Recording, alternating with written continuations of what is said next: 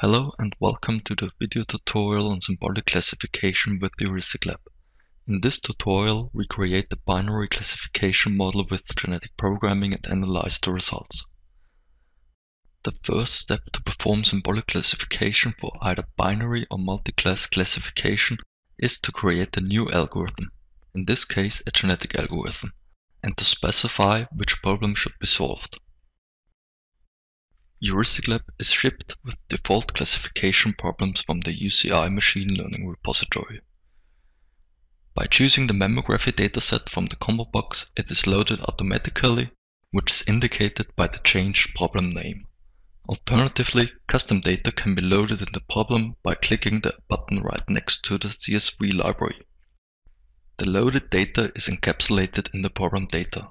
By double-clicking, a new view is opened that allows an easier configuration of the parameters. We inspect the data by selecting the dataset and see that it contains around 950 observations and 6 variables. The target variable specifies which variable should be modeled using the checked input variables. The training partition is used by the algorithm to learn the model, whereas the test partition is used for estimating the generalization error. All those parameters are in our case already pre-configured because we loaded a classification problem that is provided by HeuristicLab.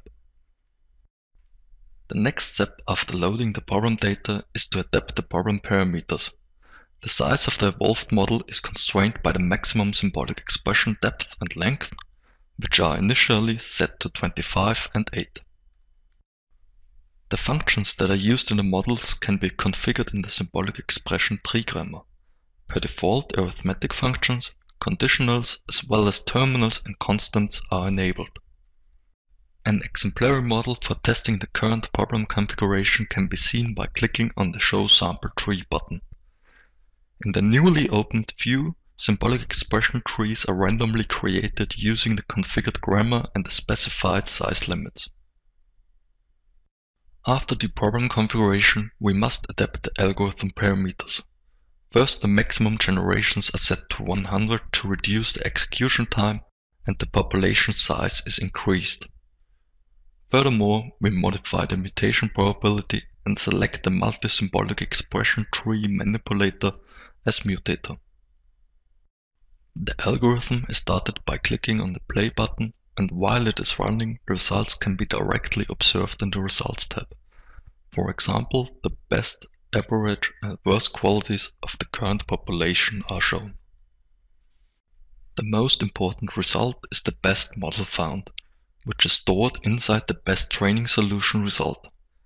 A solution encapsulates the evolved model, the problem data, as well as several quality metrics such as the mean squared error or the accuracy on the training and test partition.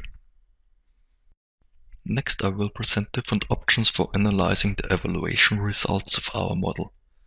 First the confusion matrix shows the number of correctly classified and misclassified samples. The estimated class values view lists the class estimations for every sample. The receiver operator characteristic plots the false positive versus the true positive rate for every class and the area under the curve is shown in the tooltip of the corresponding legend entry. The data points of the ROC curve are obtained by modifying the threshold for the class predictions. The concrete thresholds are displayed in the tooltip of the data point. Furthermore, the evaluation results, as well as the currently used thresholds of the model, are shown graphically in the classification threshold view. The model itself is visualized as a symbolic expression tree per default, but textual and mathematical representations are also available. A convenient way of evaluating the impact of different subtrees is the solution simplifier. On the right side, the same quality metrics and evaluation results as before are displayed. On the left side, the tree representation of the model is displayed where nodes are colored according to their influence on the evaluation result. White indicates low or zero impact nodes, whereas green indicates high impact nodes.